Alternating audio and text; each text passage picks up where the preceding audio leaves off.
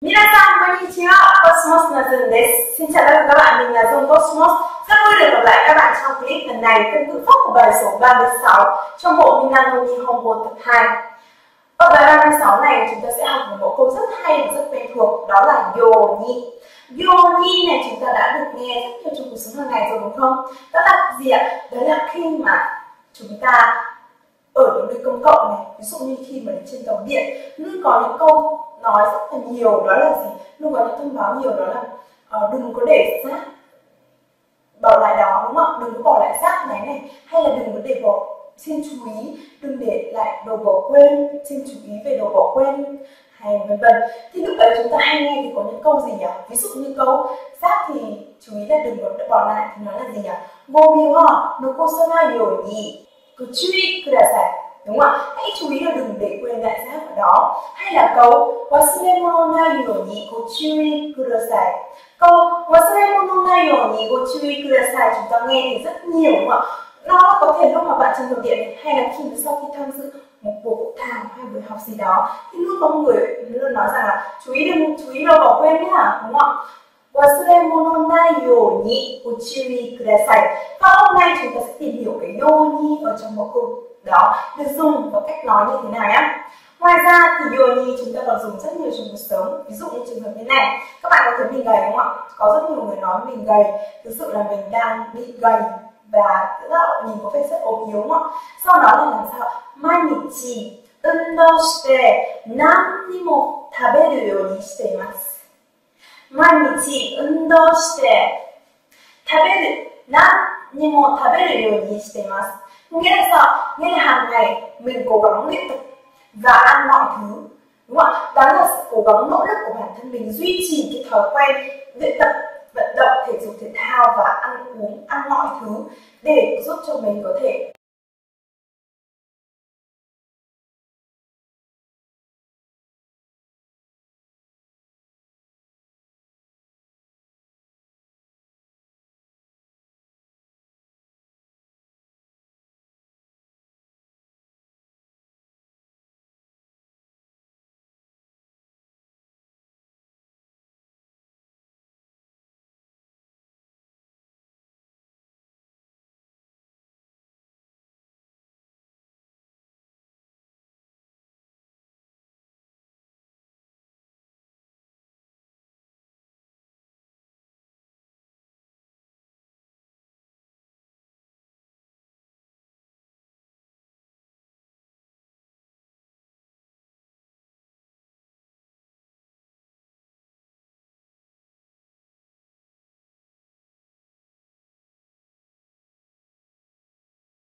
tâm chu trôi chảy không?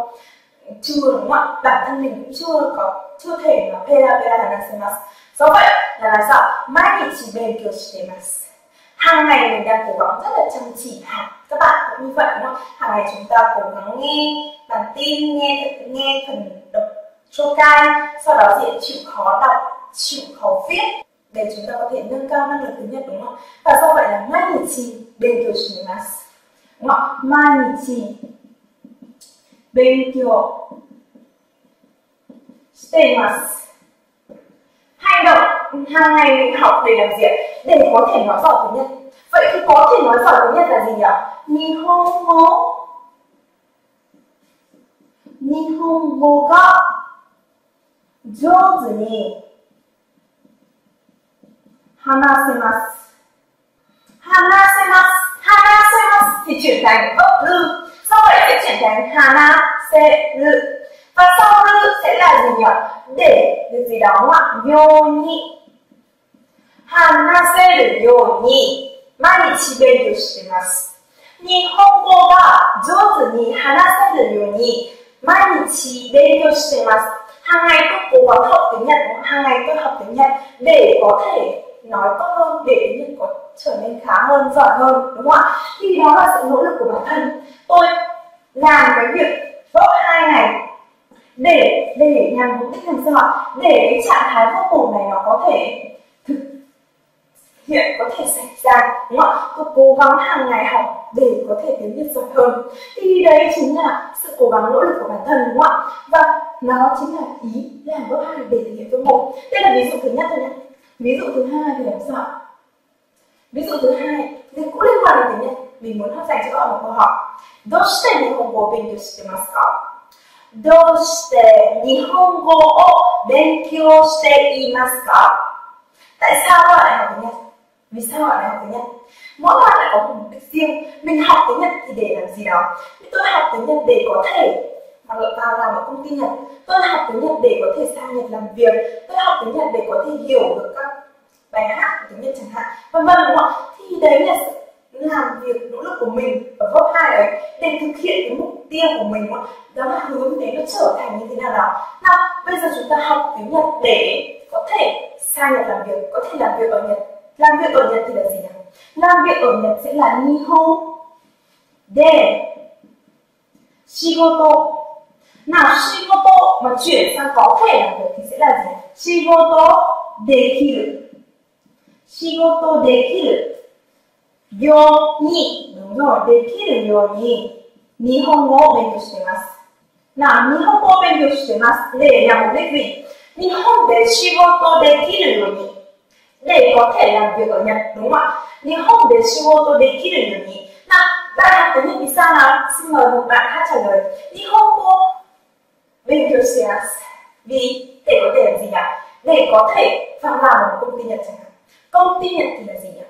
Đối với những công ty hoặc này thì người ta hay là gì ạ? À? kasha vậy thì công ty nhật thì người ta hay nói là nikkei nikkei kasha thì là công ty nhật. Còn những dạng như mà kiểu những nhà máy doanh nghiệp nhật bản thì người ta hay nói là nikkei kigyo đúng không thì nikkei kasha nhí hai đề được, đúng không ạ? Hai thì chuyển thành, có thể thì sẽ chuyển thành hai đề được.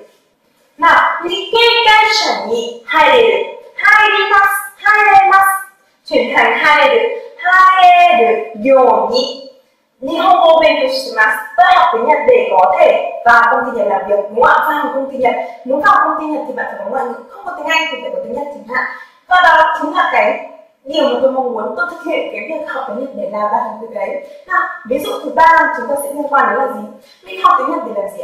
Mình học tiếng Nhật để có thể nói chuyện với người Nhật thôi.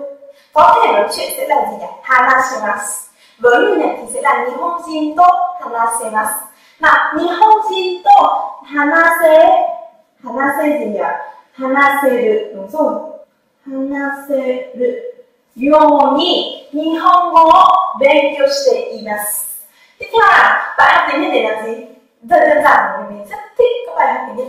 Mình muốn hiểu các bài học tiếng nhật thì sẽ là gì nhỉ? Nihon no uta の歌が、ひよですね、わかる、ぞ、かるように、日本語を勉強しています。歌を見せない。俺にブロックにそびてない。ちょっとに、ラバロトゥ、バゲタ、ジョナタティニョロッ、チオ、ザ、ボトゥ、ニョトゥネコラケンジオ。話せます。できます。入れます。話せます。ニョトゥネラドトゥフィニョ。話せます。Đúng không? Đây là những vốc khả năng. Đúng không? Khả năng là gì? Khả năng đúng không? Kanoke, khả năng sau đó là gì hoặc là những động từ như wakaru wakaru có phải là động từ thể hiện sự ý chí không? Đúng không? Nó là trạng thái khả năng là có thể hiểu được. Đúng không? Vậy đây là những cái động từ không thể hiện ý chí nhé. Các bạn chú ý những động từ trước yoni không thể hiện ý chí. Rồi chúng ta sẽ tìm hiểu ví dụ tiếp theo liên quan đến verb nai yoni và tiếp theo chúng ta sẽ tìm hiểu với ví dụ liên quan đến verb nai nhé. Các bạn có hay đi quên không ạ? Mình là một người rất là hay quên. Wasuremono là một người rất hay quên luôn luôn có đổ bỏ quên. Mono ở đâu cũng có không ạ?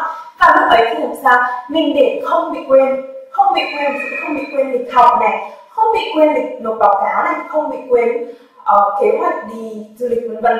Thì phải làm gì? Muốn không bị quên thì các bạn sẽ phải làm gì nhỉ? Đó là memo, đúng không ạ? Memo shimasu mình sẽ memo shimasu đúng không ạ? Và lúc ấy bạn đưa ra một lời khuyên cho mình thì là gì nhỉ? Để mà không quên thì hãy memo vào. Nào, để mà không quên thì hãy memo vào thì chúng ta sẽ nói là gì? Nào, memo nó là ghi chép, ghi chú lại, đúng không ạ? Memo. Memo stay là giải, đúng không ạ? Hãy memo vào, hãy ghi chú lại. Memo stay là để không bị quên quên là gì nhỉ wasuremasu wasuremasu Wasuremas là quên Bây giờ để không quên thì không quên thì sẽ chuyển thành wasuremasen wasuremasen chuyển thành verb này là wasure wasure này và sẽ phải cộng với yoni wasuremai yoni memoshite kudasai để mà không bị quên thì hãy ghi chú lại đúng không? Hãy ghi chú lại, hãy nốt lại đi, thì sẽ không bị quên. Ngày nào cũng nhìn vào schedule thì ngày nào có những ghi chú đấy rồi, thì tự nhiên nó đặt vào mắt mình không thể quên được, đúng không ạ? Thì đây là ví dụ thứ nhất. Ví dụ thứ hai, đó là gì? Các bạn có bị răng sâu hay là răng kém không mình cũng có răng sâu. Và lúc ấy làm sao? Mà để cho, thì lúc ấy mình phải làm sao? Đi khám bác sĩ rồi. Các bác sĩ khuyên mình rằng, về mà chú ý đánh răng đánh răng sau bữa ăn và trước khi đi ngủ, đúng không ạ? Nào sau bữa ăn và trước khi đi ngủ, ví dụ như thế thì chúng ta sẽ đánh răng mấy lần một ngày? Đơn giản trong khoảng ba lần đi. Thì để cho răng nó không bị hỏng, thì đánh răng ba lần trong một ngày. Thì câu ấy sẽ nói là gì ba lần sẽ là gì là sang cài đúng không? Sang cài thì còn đánh răng thì là gì? Hao migakimasu đúng không ạ? Hao migakimasu để cho răng không hỏng, răng hỏng thì là gì ạ? Ha ga wari đúng không ạ? Wari thì chuyển thành không học thì sẽ là waru cử na, ra này. Không trở nên bị hỏng ạ. Hoặc nó cử na này nhiều nhì. Nay chỉ hoặc sang cây sang cây, gì nhỉ? Hao migakimasu tôi đánh răng ba lần. Ngày để làm gì ạ? Để cho răng nó không bị hỏng như vậy ở đây là gì chúng ta hãy những động từ gì? Narimasu Narimas, wasuremas động từ này có phải là động từ thể ý chí không? Không đúng không? Nó là những cái động từ mà thể trạng thái nó trở nên như là quên vân vân. Và nó không phải là những động từ thể hiện ý chí. Ví dụ trong trường hợp là bạn bạn dùng ở đây thì chúng ta sẽ thấy rằng nó là những động từ không thể hiện ý chí. Nhưng đấy là câu một. Còn câu hai thì vẫn là những động từ thể hiện ý chí. Memo. Segurasa là sai khiến rồi này. Vâng, còn how migakimasu migakimasu là đánh răng thì có ý chí rồi. Vậy vâng câu hai thì vẫn ok, không vấn đề gì. Nhưng câu một thì là những động từ không thể hiện ý chí có đúng không ạ? Thì đây là chúng chung, dành cho cả gốc real hoặc gốc nine nó có cái khác động từ trước yoni là những động từ không thể hiện ý chí. Nó có thể là động từ thể hiện khả năng. Như chúng ta vừa tìm hiểu lúc trước là hanasemasu mas hai haremasu vân vân. Hoặc là những động từ thể hiện trạng thái, ví dụ như nanimas arimasu hay là Wasuremas vân vân, đúng không ạ? Thì đây là chúng thứ nhất liên quan đến cách sử dụng của mẫu cấu trúc này. Như vậy thì làm sao chúng ta thấy rằng bước hai là hành động. Thể hiện sự nỗ lực cố gắng thực hiện hành động bước hai để nhằm mục đích của bước một, đúng không ạ? Như vậy bước hai là thể hiện sự nỗ lực nỗ lực để đạt được, để đạt được cái mục tiêu. Mục tiêu ở đây là bước một, đúng không ạ? Mục tiêu là vô một. Và vô một đấy có đặc điểm gì ạ? Vô một đấy không thể hiện ý chí. Đúng không? Không thể hiện ý chí. Và không thể hiện ý chí thì nó có thể là những động từ gì? Thể khả năng này. Khả năng đúng không ạ? Và tiếp theo nó có thể là những động từ ví dụ a được, hoặc là na được, hoặc là waka được, hoặc là gì ạ wasure được, vân vân. Đúng không ạ? Hay là kakaru vân vân. Thì nó là những động từ không thể hiện ý chí còn verb hai thì lại thể hiện ý chí, đúng không? Verb hai thì lại thể hiện ý chí. Các bạn hết sức chú ý điều này. Hết sức chú ý rằng verb một nó là động từ không thể hiện ý chí. Bởi vì sau cái bài số 36 này, ở bài số 42 của 42 thì chúng ta sẽ tìm hiểu với dạng thameni thameni cũng thể hiện được là mục đích vì để đạt được cái việc đấy thì bạn phải làm gì. Tuy nhiên, lúc ấy, động từ trước cái mẫu câu đó thì động từ về trước lại thể hiện ý chí. Như vậy, sự khác nhau của những mẫu câu ấy nó quan đến của động từ. Đúng không ạ đối với irony thì đó là những động từ không thể hiện ý chí các bạn hết sức nhớ và hết sức chú ý điều này nhé. Không thể hiện ý chí và vấp hai thì có thể là thể hiện ý chí. Còn ý nghĩa của câu thì có nghĩa là vấp hai nỗ lực để nhằm mục đích đạt được cái vấp một, để có thể đạt đến cái trạng thái của vấp một để trở thành như thế. Và bây giờ chúng ta sẽ cùng nhau luyện tập thêm nhé. Nào chúng ta sẽ cùng nhau hình thành mẫu câu yoni như sau mình sẽ đưa ra các từ gợi ý nhé yoku wakarimasu hiểu biết rõ không ạ yukkuri hanashimasu yoku wakarimasu yukkuri hanashimasu yoku wakaru yoni yukkuri hanashimasu để có thể hiểu rõ thì tôi sẽ nói chậm tôi sẽ nói chậm để hiểu rõ yukkuri hanashimasu まあ、よくわかるようにゆっくり話します。で、てな、試合に出られます。練習します。試合の、出られますが、OK、参加。はどれはどれちょっとその2。まあ、試合に出られます。で、練習します。試合に出られるように練習します。で、ごて、tham gia trận đấu thì chúng ta phải luyện tập đúng không ạ? Chúng tôi luyện tập để có thể tham gia trận đấu. Tiếp tục, hayaku kaeremasu. Shigu koto ganmarimasu. Hayaku kaeremasu có nghĩa là có thể về sớm. Shigoto ganmarimasu sẽ là cố gắng trong công việc. Nào, hayaku kaereru yoni. Shigoto ganmarimasu. Tôi cố gắng làm việc để có thể về sớm đúng không ạ? Tiếp theo là, i kuruma ga kaemasu. 貯金します。Khi camera đó thầy mask có nghĩa là có thể mua được một chiếc xe ô tô tốt và shopping mask có nghĩa là tiết kiệm. 이車が買えるように貯金します。để có thể mà mua được ô tô tốt thì tôi tiết kiệm đúng không? Tiếp theo nào, 合格できます、勉強します。合格できますがお手量の勉強しますが発達。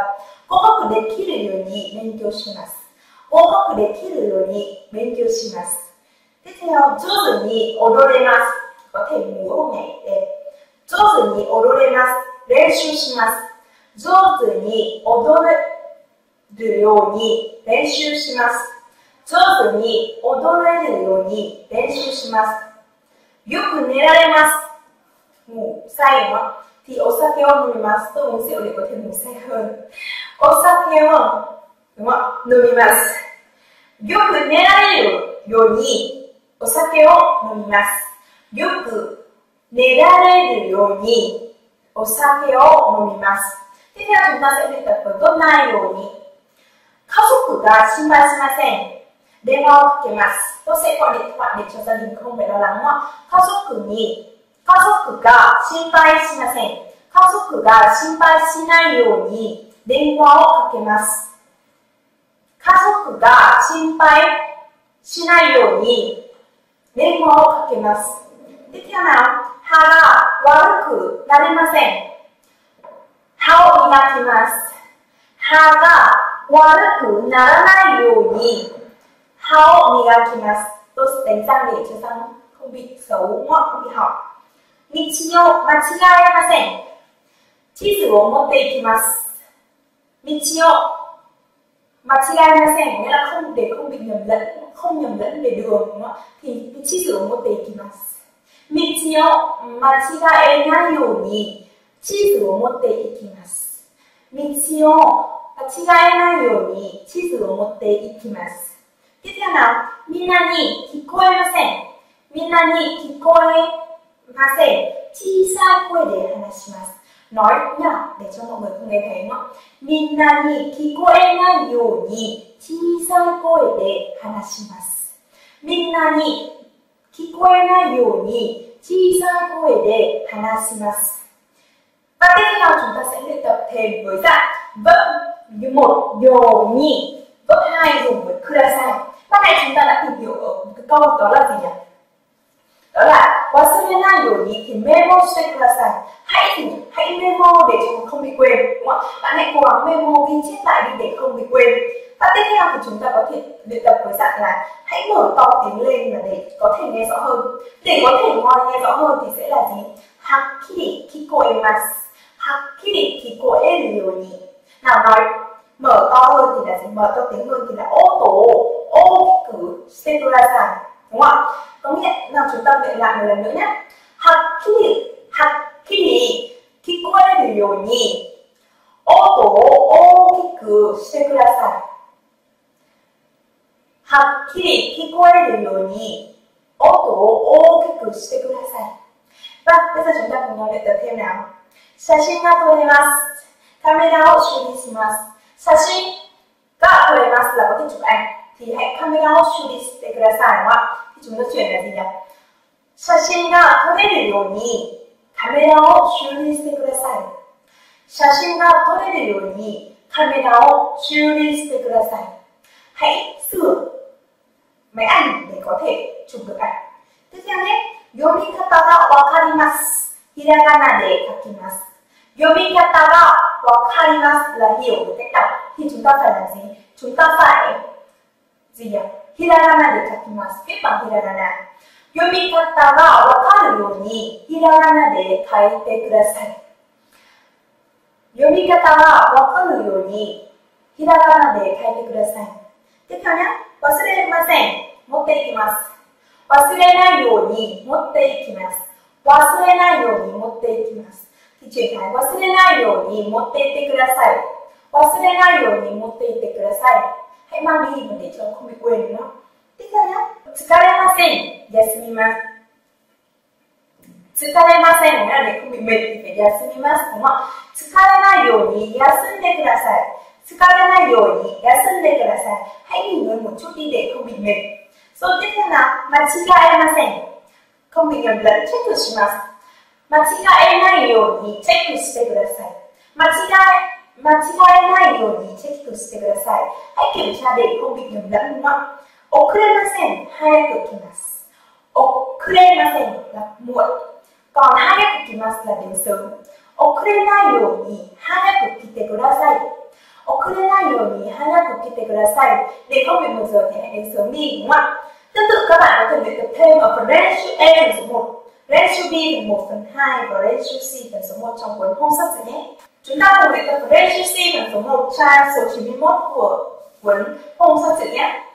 いつも電子辞書を持っているんですか ?A、新しい言葉を聞いたら、すぐ意味が調べられるように持っているんです。そうですか？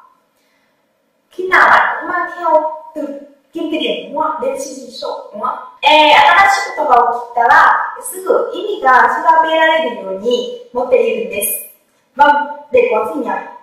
Để khi mà khi mà tôi nghe được từ mới, khi mà thấy từ mới thì tôi có thể gì nhỉ? Tra cứu, tra cứu phần ý nghĩa tìm tra từ nhanh ngay có thể đúng không thì tôi mang đi một tệ thì là và sốt thì sự học vệ à đúng không vậy thì làm sao ở đây nhân vật b là gì nhân vật b thực hiện hành động động mất tệ identity có nghĩa là mang theo, hành động mang theo cái đen decision để làm gì ạ để khi mà thầy có từ mới thì có thể tra cứu ngay lập tức sư ngữ sư ngữ là ngay ngay ngay và luôn đúng không bạn có thể thay thế phần 1 phần 2 ở đây phần 1 phần 2 ở đây có thể là emotional monominus thì có thể shashimotorimasu. Rồi lại có mang ketadenwa. Ketadenwa mang theo để làm gì? Để nanika arimasu. Nếu mà có chuyện gì thì tôi có thể rendaku dekimasu. Ở đây chúng ta lại thấy có gì ạ? Thả dạng điều kiện giả định nếu mà có chuyện đấy xảy ra thì như thế nào thì tôi sẽ để làm gì đúng không ạ thì các bạn thay thế phần 1 phần 2 này vào và mình nghĩ rằng các bạn nên học thuộc một câu hội thoại của nhân vật B này 別に新しい言葉を聞いたら、すぐ bạn nên học thuộc câu trả lời của nhân vật B này bởi vì đây là một câu rất là hay. Nó khá là dài nhưng mà nó thể hiện ý nghĩa rất là chuẩn xác và dễ hiểu. Các bạn chú ý nhé. Và tiếp theo, nội dung thứ hai trong bài 36 này chúng ta sẽ tìm hiểu, đó là mẫu câu diễn tả sự thay đổi, trạng thái thay đổi về năng lực. Từ việc bạn không làm được một việc gì đó trở nên có thể làm được, hay là trạng thái mà bạn trở nên không làm được việc gì đó. Và mẫu câu ấy chúng ta sẽ dùng với naimas narimas là động từ diễn tả ý trở nên. Ở bài 19 nếu chúng ta đã học narimas kết hợp với tính từ hoặc danh từ để diễn tả sự thay đổi, ví dụ như là atsuku narimasu có nghĩa là trở nên nóng, hoặc là handsome ni narimashita nghĩa là trở nên đẹp trai hơn, hay là jukyu sai ni narimashita nghĩa là tôi đã bước sang tuổi 19 thì ở bài này, ở phần 2 này, chúng ta cũng tìm hiểu tiếp tục với động từ narimasu nhưng ở đằng trước narimas không phải là tính từ hay danh từ nữa, mà lúc này là động từ. Động từ này có hai dạng, đó là khẳng định hoặc phủ định. Nếu khẳng định thì bạn sẽ diễn tả rằng bạn trở nên làm được việc V đó, bạn có thể làm được việc V đó. Và lúc ấy verb rư cộng với yo nhị, bạn chú ý nhé lúc này lúc này verb rư sẽ cộng với yo nhị yo nhị còn trong trường hợp mà bạn đang làm được việc, việc gì đó và bây giờ bạn trở nên không làm được nữa thì lúc ấy sẽ bạn sẽ chuyển sang phủ định và phủ định là động từ vấp này vấp này thì bỏ y đi thành khự và cộng với narimasu Đương nhiên narimasu này có thể thay đổi tùy theo thì thời của câu hoặc điều bạn muốn nói. Ví dụ như narimashita hoặc naritai vân vân đúng không ạ? Thì lúc ấy sẽ tùy thuộc vào về sau. Trong bài 2 này chúng ta sẽ lần lượt luyện tập với từng nội dung một với động từ khẳng định verb ryo ni narimasu hoặc verb nakuyo, verb naku narimasu. Rồi chúng ta sẽ tìm hiểu lần lượt từng nội dung một nhé. Với verb ryoni cộng với narimas thì sẽ diễn tả rằng bạn từ việc không thể thì trở thành có thể. Bạn có thể làm được việc V. Ví dụ như hành động về học tiếng Nhật liên quan đến việc học tiếng Nhật.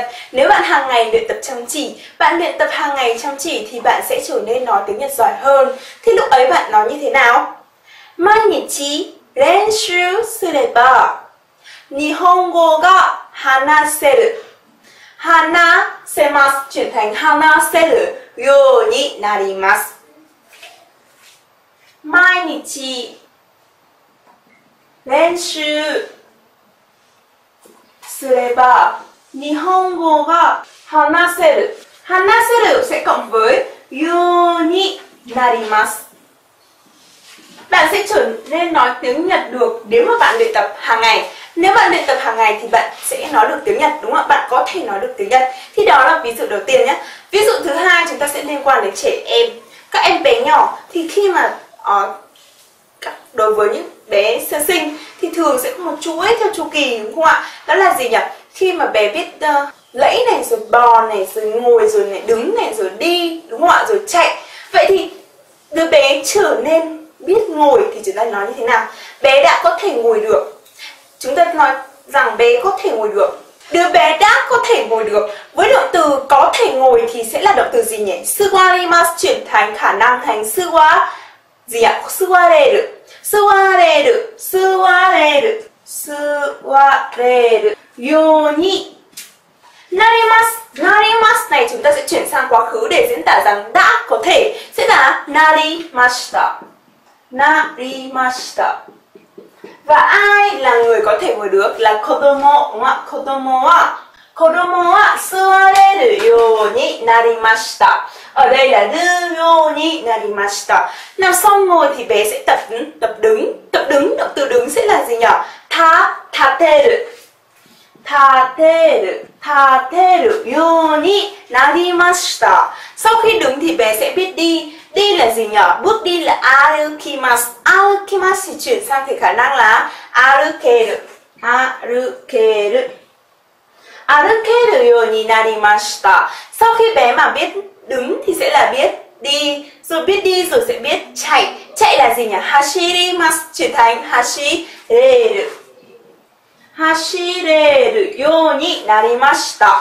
Và tương tự bạn có thể diễn tả những cái khả năng việc mà bé từ việc không làm được trở nên có thể làm được và bạn sẽ thay đổi và bạn sẽ lựa chọn các động từ và chuyển sang dạng ngư cộng với yoni narimashita và chúng ta sẽ tiếp tục tìm hiểu ví dụ số 3 Ví dụ số 3 này cũng liên quan đến việc học tiếng Nhật.